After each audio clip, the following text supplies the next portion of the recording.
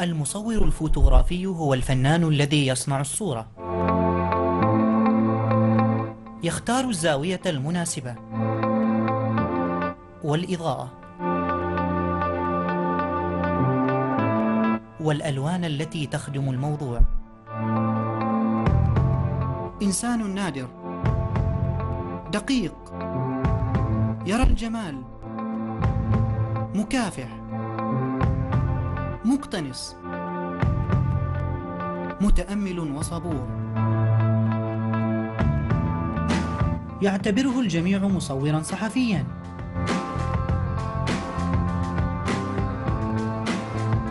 يستاء البعض عند تصويرهم فيجد في وجوههم ابتسامة الرفض. عندها يبحث عن البديل.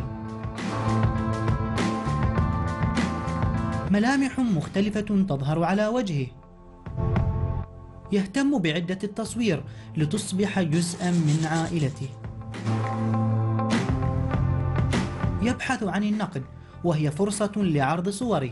تفرحه بعض الكلمات وتحبطه بعضها. ويقضي ساعات طويلة في المعالجة الرقمية التي لا يجيدها.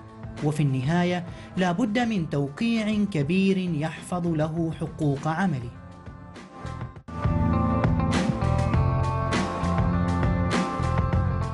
تثير عدسته فضول الكثيرين.